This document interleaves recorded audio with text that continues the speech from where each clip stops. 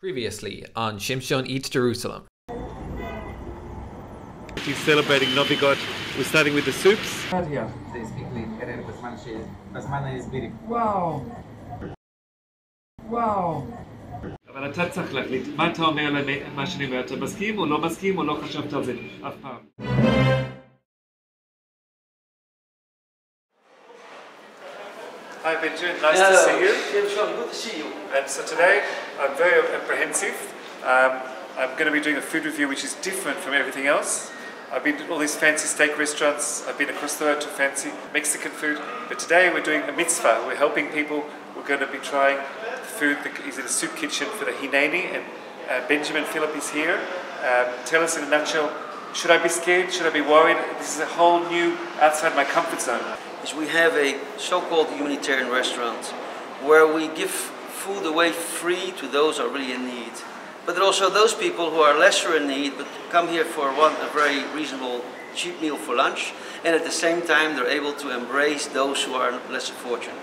And by the people coming here, those who are in need another need, we take away the stigma of a soup kitchen and we make it into a humanitarian restaurant that gives the feeling that everybody on the other way is connected in one society. And that's the beauty of it. Here you see a millionaire sitting to a beggar and they're sitting on the same table. And I think that's the beauty of this place. Um, I'm coming in with two principles. Um, first of all, um, I never accept anything free, so I'm going to pay for the meal. You said you can't pay, but you can give a donation. So I'm going to give a 100 shekel donation. It's normally 25 shekels. The second of all is I'm sticking to the truth. If I find the schnitzel too oily or if I find the soup too salty, I'm going to have to say that. I have no choice. I can't uh, sugarcoat the bitter pill. I have to tell the truth because I'm a food reviewer.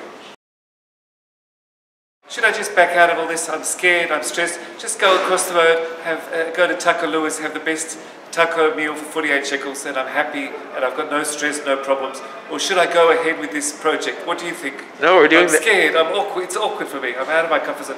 What should I do? Walk out or continue? We're doing this. We're doing it. Okay. You know what? That's the beauty of it. Right. Because finally you come across something that makes you doubt. That's that right. you fear of. That's right. And that's the beauty of Hineni. Okay. Abraham, where are you? Hineni, here I am, ready, prepared to do something that I'm scared of. And that's the beauty. Here Okay. you can actually, for everybody who comes here, you can push your boundaries. It's a- It's a mitzvah campaign today. We're going to do it. Let's go, everyone.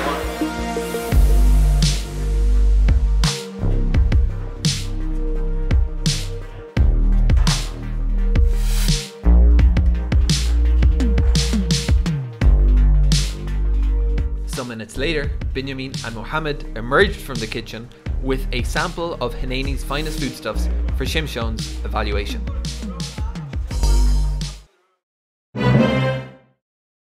These are some of the combinations that we have in the soup. This, for instance, onion soup. Oh, that sounds good. Right, so I'll give you a taste of the onion soup. Now, we work with a lot of people from East Europe who like things thick. Okay. Uh, you're like a Yiddish mama. Eat more, eat more, eat more. Uh, you're a Yiddish mama.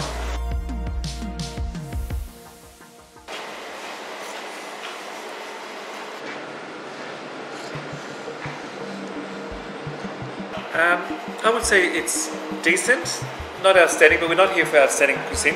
It's got um, in it definitely ch- uh, chicken soup powder, and it's very salty. Um, so re- reasonable. Oh, well, uh, but um, it's hot and it's filling, so that, that's good.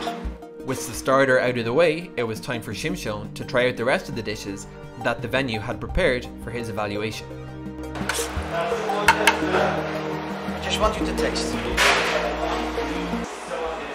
Uh, quite nice. It's got a Middle Eastern uh, Balkan flavour to it. Uh, even the Greeks probably eat this, or the Turkish. Delicious. Shimshon's appetite showing no signs of slowing down, the Australian proceeded to demolish all the other dishes on the menu.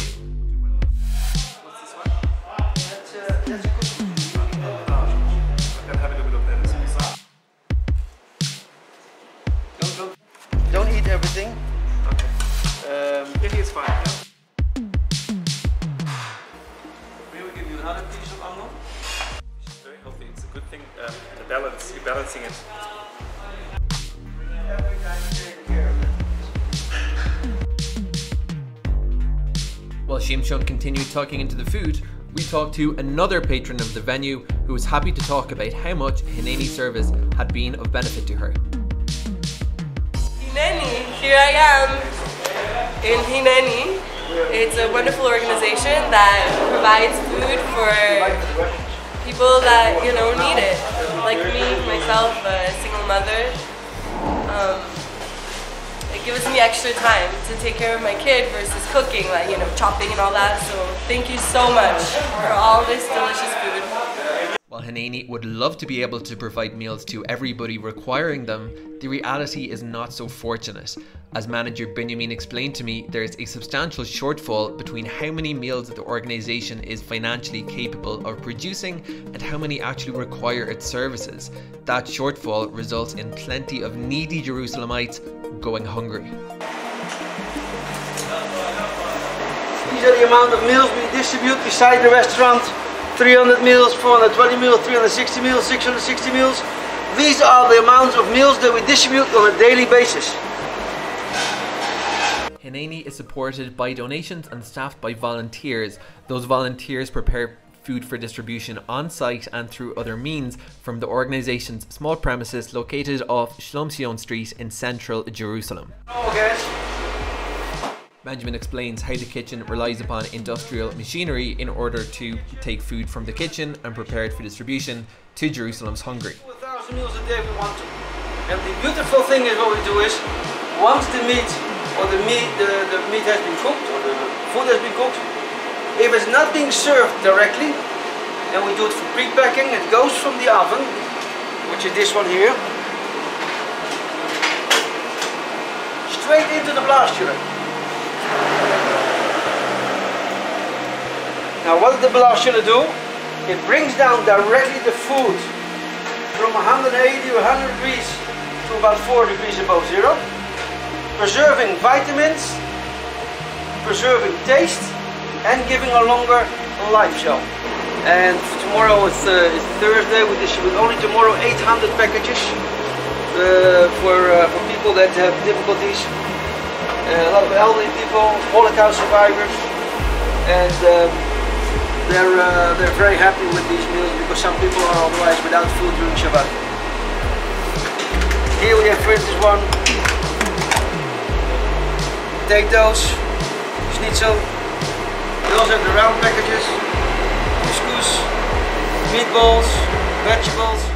One small surprise in store before Shimshon and I head for the road, the premises also has a small synagogue on site, as well as a gold plated elaborate menorah.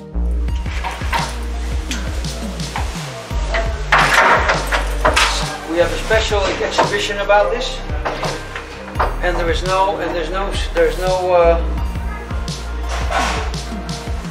there's no second one like that. The extraordinary people making the Hineni program work include the volunteers responsible for handing out food from the canteen itself. We spoke to two of them who were participating in the Masa program and working at the kitchen several days per week.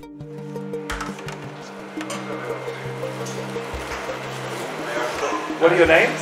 Um, I'm Creeley. My name is Sonic. Okay, and you come as volunteers? Yeah, um, we're volunteering here through a program called Aardvark, which is like a gap year program.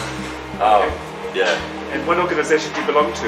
Uh, Masa. According to Benjamin, many of the frequent accessors of the service arrive to the kitchen after receiving a referral through the Jerusalem municipality's social services. have here is I have a lot of tourists who come here. Oh, okay. I got a lot of people from the Ulpan who come here. Oh, I got people that work at at uh, Mizrat uh, Ravacha, uh, people that work, you know, in the social welfare departments that want a good meal and they know this place because they refer people to us. I'm very proud of everything you're doing, helping all these uh, needy people. And I want people to get involved. I want them to donate money. I want them to donate, to come and help and get involved. Can you please give details how we contact you? How do we donate? And how do we um, volunteer? Um, you know, people can always be involved with us through donations.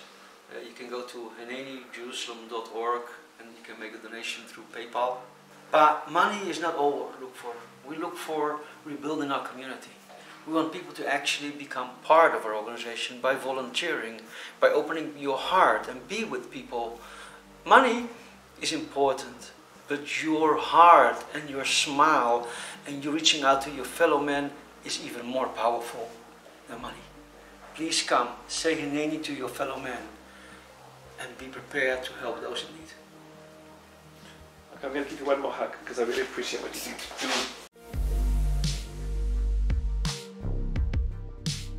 Shimshon and I may have come to Hineni to check out their food, but we ended up experiencing something much more significant. Hineni is located off Shlomtzion Street in downtown Jerusalem. To get more videos from me, please consider subscribing to this YouTube channel.